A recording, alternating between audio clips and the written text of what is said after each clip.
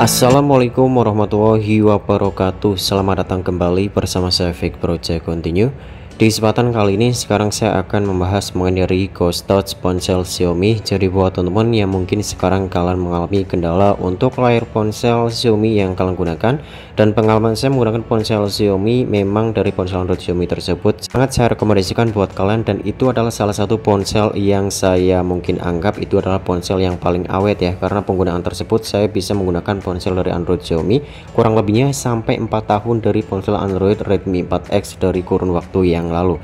Namun untuk kendalanya dari Xiaomi mungkin jika memang kalian uh, tidak uh, begitu menjaga dari ponsel dan hasilnya ponsel tersebut sering jatuh dan hasilnya itu akan berdampak pada layar ponsel kalian. Dan itulah salah satu yang menyebabkan dari ghost dot tersebut akan muncul pada ponsel Android Xiaomi khususnya. Jadi buat temen yang mungkin kalian mengalami ghost touch ataupun ataupun itu bisa dikatakan dari sentuhan hantu kalian bisa coba atasi dengan menggunakan aplikasi touchscreen dan ini adalah aplikasinya. Kalian bisa mendapatkannya melalui Google Play Store untuk touchscreen perbaikan. Oke ini adalah salah satu rekomendasi yang perlu kalian coba untuk aplikasi yang dapat membantu touchscreen ataupun layar sentuh mengalami ghost touch.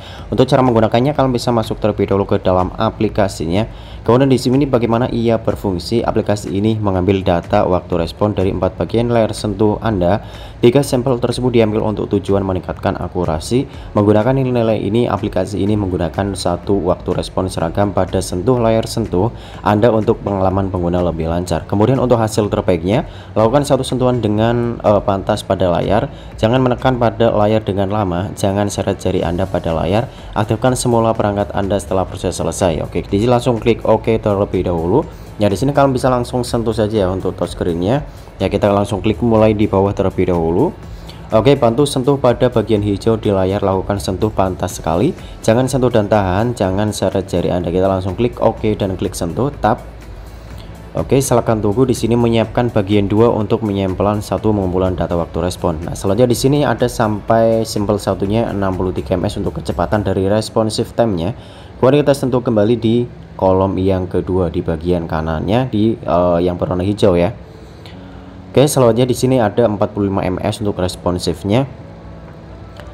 Oke di bagian 4 di sini pada sampel yang harus kita tap yang berwarna hijau juga ada 55 ms untuk responsifnya. Dan di bagian terakhir kita akan lihat responsif dari layar terakhirnya atau sampel yang kelima ya. Oke. Ya kita akan tap kembali touchscreen repair ya. Kita tap ulang. Nah, di sini harus mengetap beberapa kali untuk mendapatkan dari responsif ponsel Android yang kalian gunakan. Oke, di sini untuk yang kedua responsifnya 45 ms. Ya, di sini 46 ms untuk kecepatan dari responsif layar sentuh pada ponsel kalian. Oke, kemudian tap-tap kembali seperti ini sampai selesai ya. Nah, kita akan lihat hasilnya nanti. Oke, kita akan menunggu sebentar lagi ya. Oke itu untuk cara mengatasi supaya layar ponsel atau ghost touch pada ponsel Android Xiaomi ataupun Android yang kalian gunakan mungkin mengalami kendala ya. Tinggal kalian tap-tap seperti ini sampai selesai.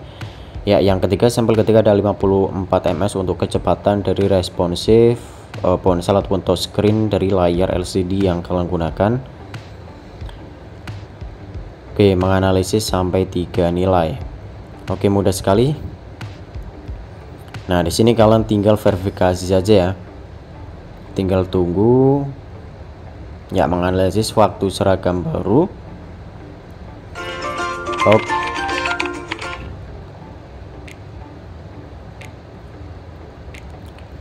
Oke, di sini sudah selesai. Di sini sukses. Waktu respon layar sentuh Anda telah dikurangi dengan 10 ms. Kita klik langsung tutup di sini.